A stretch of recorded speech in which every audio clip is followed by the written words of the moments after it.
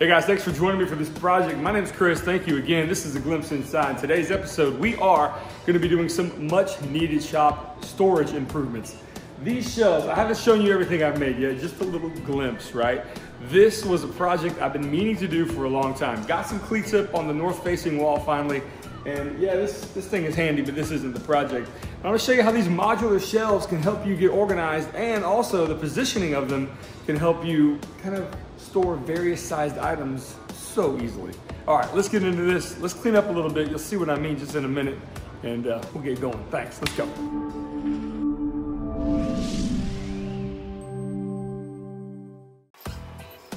You know, good help is hard to come by and I am in great company here.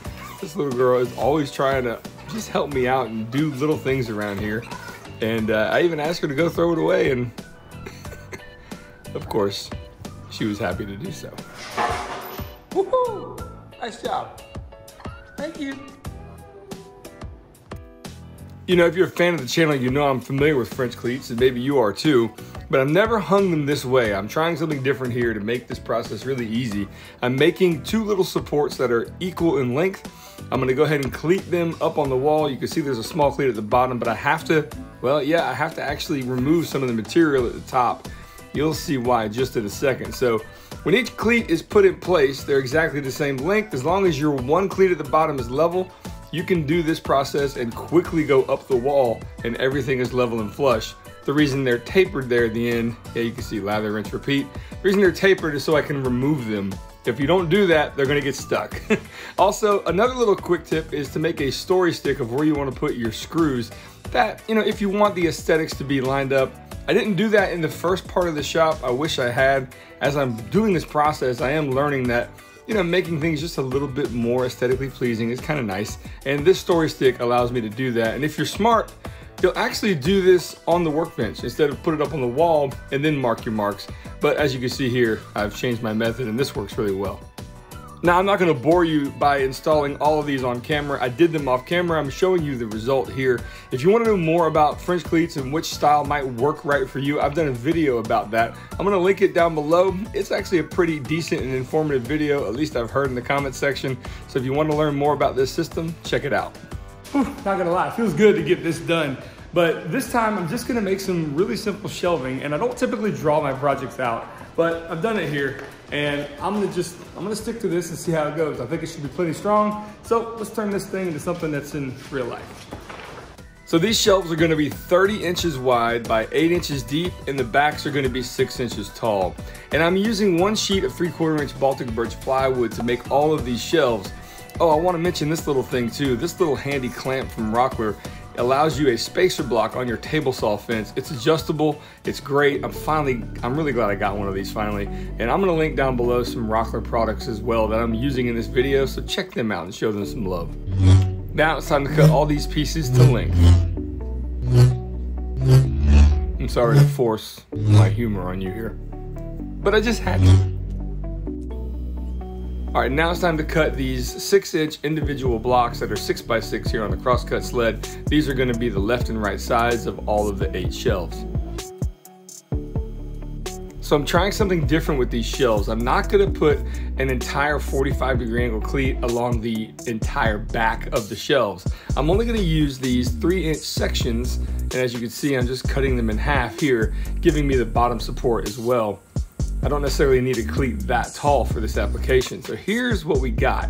We've got eight pieces, tops and backs, and then we've got our sides and all of our cleats. Okay, what you see behind me are all the pieces needed to make these eight shelves. I've got the backs, the tops, the sides, and all the cleat pieces as well. And I did spend about 45 minutes to an hour just now, and I sanded each one, and broke all the edges on all this plywood.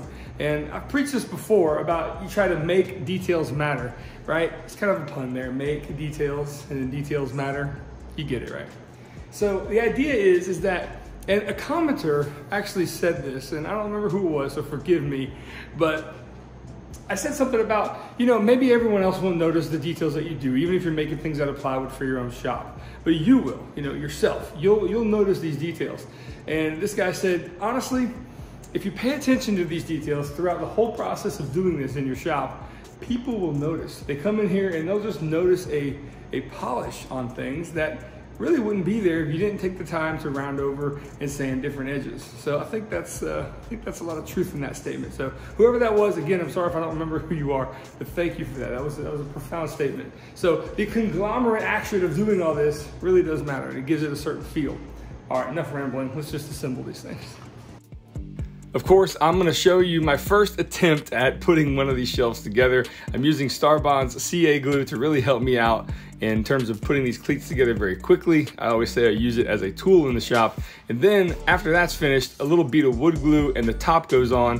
And then I'm using something new, these flush head Power Pro screws. I'm gonna put a link to these couple products down below. You gotta check them out. If you really wanna go through some fast projects here in the shop, Starbond and those Power Pro screws really help you out. Really make quick work of anything you're trying to accomplish.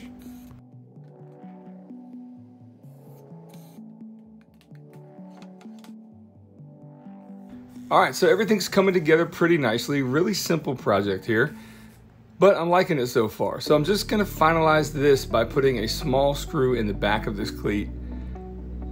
And then let's test it out. As you can see, I've got one up on the wall. And there's the second. Nice flush fit. Of course, you can move these around wherever you want. But so far, so good. So I built this shelf coming up here a little bit differently. Not that you might be able to tell, but the cleats are gonna be installed on the top of the piece instead of the back. And then the back's gonna be installed up against those cleats just like that.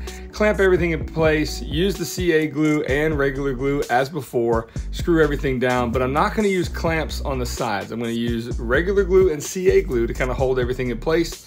And then I'm gonna flip it around. You know, I don't even know what she wanted, but at this point, I couldn't ignore. I had to come down and give her a hug. And of course, I take this piece and I put it back down and then yeah, I screw everything together just like this without the clamps on the side. I think that works a little bit better. And again, it's not rocket science. You can do whatever you want to do. But I will say this, those screws leave little bitty holes in the top. And if you want to, you don't have to, but if you want to fill them up, Starbond makes a black CA glue that looks pretty cool. A couple applications are all you need.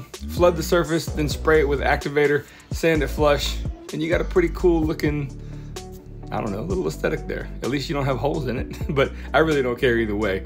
Uh, it's just an option you can do. All right, so I actually made some of these beforehand in my wife's shop. That's where I got this design from. And I used pocket holes to assemble these. And these on the wall behind you, in front of me, are what you just saw me make. I didn't use those. I used simple, really uh, flush trim screw heads on the uh, the whole thing. I didn't want to bother with cutting the pocket holes. Why? I don't know. I just thought it'd be easier to do it that way, and quite frankly, it was. Um, also, look behind me. I don't show I don't show a whole lot of mess sometimes, but see those window sills? That was kind of the motivation to build these shelves, right? So that's why we did it because sometimes things. Would you come here? Oh, okay. Are you eating? She's, she's having some leftover birthday cake. Okay. Anyway, yep, your daddy's now 40. What do you feel about that? anyway, guys, this is kind of one of those motivating factors when you have something you need to get, you know, you have a mess behind you. You have a mess in your shop. You go, I don't want to live with this anymore. So I'm going to do it and I'm going to make something that's going to help me with that. So right now, this is what it looks like. I put them all up. Yeah, Not too bad, right? And I'm gonna see if she can help me. Maybe not, she's a little too short, but we're gonna we're gonna flood these things with some some stuff. So I don't have a huge plan to organize these shelves. I'm just emptying out those windowsills. But here's a little Easter egg I found with making these things modular. Okay, this is a perfect example of why modular shelves are really awesome. Instead of always keeping it at the top, which would be fine, you can separate the shelves separate the shelves like I did here. And you got clearance for that kind of stuff. That is cool. Okay, so behind me has been cleaned up a little bit from the previous clip, I hope you can tell. And now I've got the shelves behind you, and I'm gonna show you that now. So